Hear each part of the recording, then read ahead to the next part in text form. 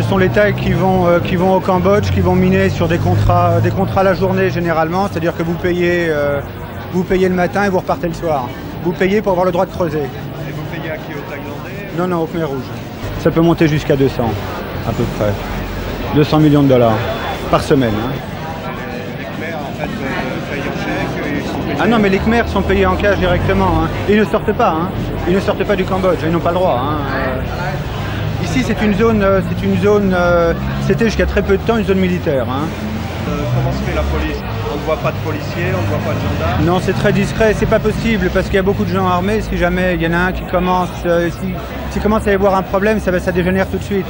Alors, pour financer ce mouvement, les Thaïlandais mettent en place un trafic entre les zones contrôlées par les Khmers rouges, donc, et, et évidemment, une ville frontière thaïlandaise.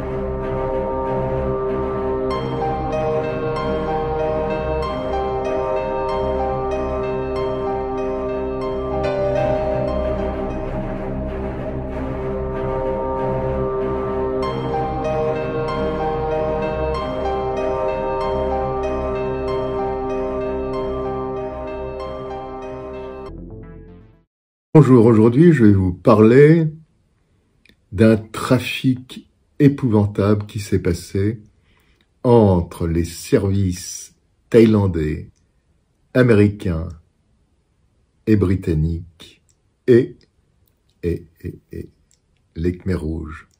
Les Khmers rouges, vous savez peut-être qui sont ces gens-là. C'est des gens qui ont massacré plus d'un million, un million de Cambodgiens de 1975 à 1979. Parce que ces gens-là n'étaient pas politiquement corrects. Massacrés, tués, torturés. Alors je vous passe quand même quelques journaux français qui fêtaient l'arrivée des Khmers rouges en 1975, le 15 avril 1975, regardez Libération, l'humanité, qui fête l'arrivée de ces libérateurs qui feront un million, je vous répète, un million de morts. Bravo à ces journaux, qui encore maintenant d'ailleurs nous abreuvent de bêtises et de stupidité. En 1979, les Khmers rouges ont été chassés par les Nord-Vietnamiens du Cambodge. Parce qu'à ce moment-là, à ce moment-là, les deux grandes puissances communistes, la Chine et l'Union soviétique, se faisaient la guerre. Oui. En particulier, la Chine combattait l'emprise du Vietnam dans le sud-est asiatique la Chine a essayé, à un moment donné, d'envahir le Vietnam. Ils se sont cassés les dents. L'armée vietnamienne les a repoussés. Et du coup, les Vietnamiens sont rentrés au Cambodge. Ils ont chassé les Khmers rouges. Khmers rouges qui, eux, sont rentrés dans la résistance. Et c'est à ce moment-là que les Américains et les Britanniques rentrent dans la, en scène. Pourquoi Pourquoi proposer de l'aide aux Khmers rouges Eh bien, tout simplement parce que les Américains comprennent que ces gens-là vont se battre contre les Vietnamiens. Alors comment, comment financer ces mouvements de résistance? Les Thaïlandais ont trouvé comment? En achetant au Khmer rouge, du bois et des rubis. Rubis qui venaient d'une ville au nord, enfin, de mines au nord de Pailin, au Cambodge. Un grand marché au rubis s'ouvre en Thaïlande. Figurez-vous que environ 200 millions de dollars par semaine rentrent dans les caisses Alors voilà, voilà, nous, j'ai réussi, moi, à partir en, en Thaïlande, encore qu'en Thaïlande, c'est très difficile pour moi parce que j'ai été arrêté plusieurs fois. Je réussis à y partir avec un visa, car pour une fois, j'ai pris un visa. J'arrive à la douane, on me dit non, direction l'avion, vous repartez immédiatement. Problème. Et donc, donc, foudrage, je rentre à Paris, j'appelle des amis, je leur demande s'ils sont d'accord pour partir. Ok, ils repartent. Et voilà les témoignages qu'ils ont faits. Mon équipe arrive à Bangkok, direction Salisbury. C'est le plus grand marché de pierre de Thaïlande. Kaliburi, une petite ville au sud-ouest de la Thaïlande. Ici, derrière les paravents des marchands de soupe, circule la pierre de la guerre. Les rubis, venant directement du mouvement révolutionnaire le plus sanglant, le plus cruel de ces dernières décennies, les Khmer rouges. Khmer rouges, qui après avoir été chassés du pouvoir par les Vietnamiens, se sont repliés dans les montagnes des Cardamom. Le régime thaï ne souhaite pas que les journalistes occidentaux puissent accéder à ces marchés qui montrent sans ambiguïté l'aide que peut apporter Bangkok au mouvement de Pol Pot. Ici, tous les acheteurs de pierres de la planète se pressent pour négocier ces gemmes qui passent pour être les plus pures du monde. Elles viennent de la ville de Pailin, tenue par l'un des plus cruels des Khmers rouges, Tamok. Il s'est fait remarquer pour la première fois quand il dirigeait le groupe chargé des interrogatoires à l'arrivée des forces communistes à Phnom Penh. Henri, qui est français, travaille pour l'un des plus grands joailliers de la place Vendôme. Il est beau, hein? Il est beau. On est à Canterbury pour acheter des pierres, pourquoi? C'est le plus gros marché du monde pour ce qui est euh, saphir et rubis ici. hein. Quel est le chiffre d'affaires de Canterbury Ça peut monter jusqu'à 200, à peu près. 200 millions de dollars par semaine, hein. Pour disons un rubis de 3 carats, un rubis moyen, très très belle, qualité, il faut compter à peu près euh, 25, 25 à 30 000 francs le carat. Entre ici et Bangkok, vous avez une différence de 20%. Et après, c'est la loi de l'offre et la demande. hein. Euh, C'est-à-dire que c'est une pierre qui va arriver en France aux alentours de 50 000 francs le carat, à peu près chez le bijoutier, qui lui-même va la revendre avec son profit. Ce sont les tailles qui vont, euh, qui vont au Cambodge, qui vont miner sur des contrats, des contrats la journée généralement, c'est-à-dire que vous payez, euh, vous payez le matin et vous repartez le soir. Vous payez pour avoir le droit de creuser. Et vous payez à qui Au Thaïlandais? Non, non, au Khmer rouge. Principalement. Les, les Khmers, en fait, euh, payent en chèque et ils sont payés. Ah non, mais les Khmers sont payés en cash directement. hein. Ils ne sortent pas. hein. Ils ne sortent pas du Cambodge. Ils n'ont pas le droit. hein. Ici, c'est une zone, euh, c'est une zone, euh, c'était jusqu'à très peu de temps une zone militaire. hein. Euh, comment se fait la police? On ne voit pas de policiers, on ne voit pas de gendarmes? Non, c'est très discret, c'est pas possible parce qu'il y a beaucoup de gens armés. Si jamais il y en a un qui commence, euh, si- commence à y avoir un problème, ça, va, ça dégénère tout de suite.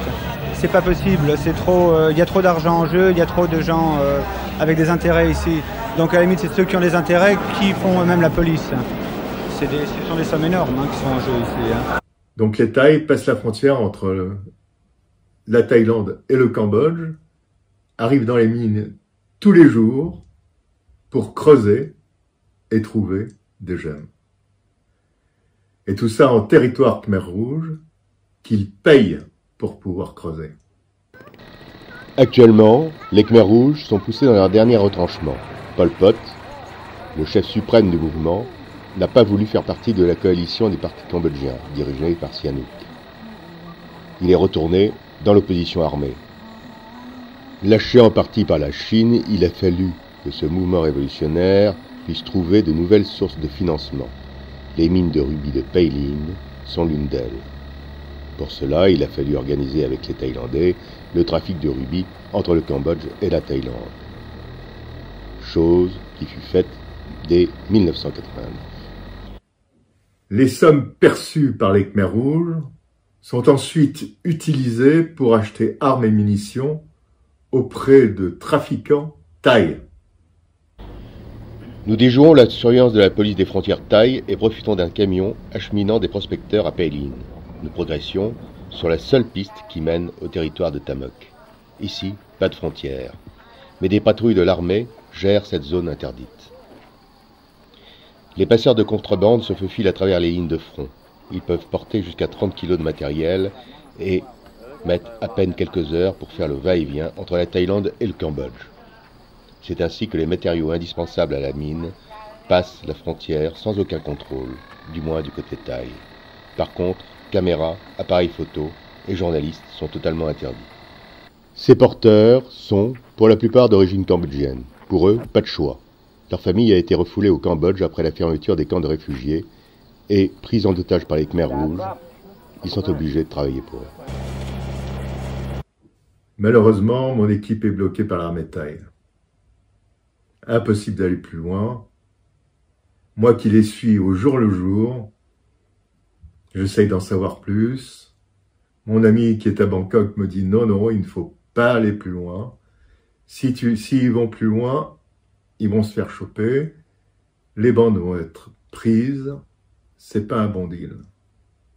Alors je leur demande d'aller faire des plans d'une mine qui se trouve à quelques centaines de mètres de la frontière, en territoire thaï.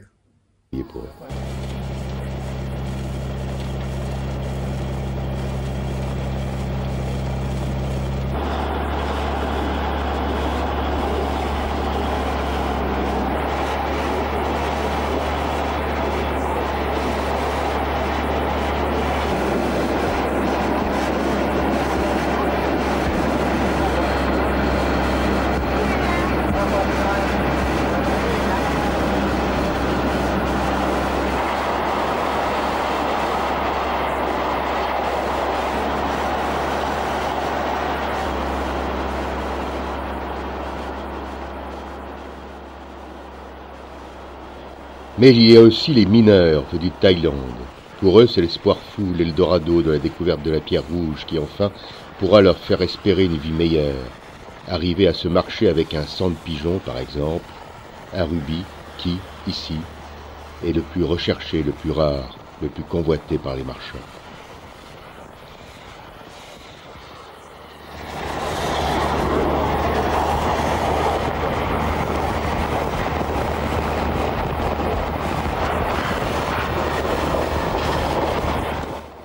Ensuite, il faut qu'ils suivent les prospecteurs qui reviennent du Cambodge, qu'ils les suivent jusqu'à l'endroit où ils vont revendre les rubis. Car les gens qui leur rachètent les rubis ne sont pas les mêmes qui, que ceux qui les vendent au grand marché. Rentrée des mineurs vers les Thaïlandes, vont pouvoir négocier leurs précieuses pierres couleur de sang.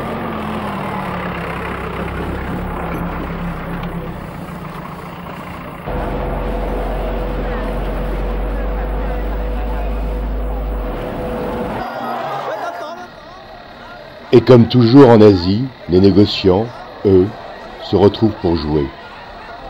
L'argent gagné avec les pierres des Khmer rouges.